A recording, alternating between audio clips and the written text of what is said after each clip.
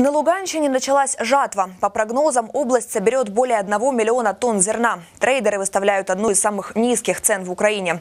В регионе планируют создать достаточный запас хлеба и со временем поднять закупочные цены. Как собираются это сделать, узнавали мои коллеги с Луганского областного телевидения.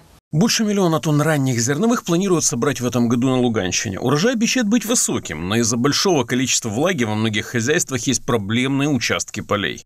Випало дуже багато осадків, дуже полеглої пшениці багато. І є е, багато зелені. Але все, рівно вбираємо. Є, влаж, є влага, убираємо, вибираємо із того, що саме сухіше. І зараз те, що збираємо, я хочу зразу е, вивезти на аграрний фонд.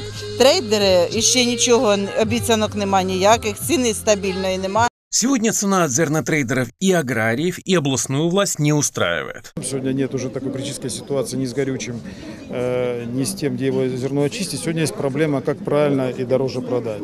И разрыв э, между ценой соседних областей очень высок. В Луганской области один из самых низких уровней закупочных цен в Украине. Зернотрейдеры низкой ценой стараются компенсировать транспортные затраты. В области не хватает своих перерабатывающих предприятий. Если построить современные мельницы, то и закупочная цена вырастет.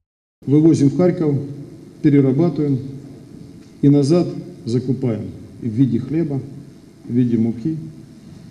Задача, я уже как бы просчитываем сейчас специалистами, все-таки нам нужен э, комбинат мукомольный где-то в пределах минимум 300, максимум 500 тонн в сутки. Бывший фермер, а ныне губернатор Гарбус считает, что необходимо увеличить запасы зерна на элеваторах с 30 до 100 тысяч тонн и советует, дождавшись хорошей закупочной цены, выгодно его продать.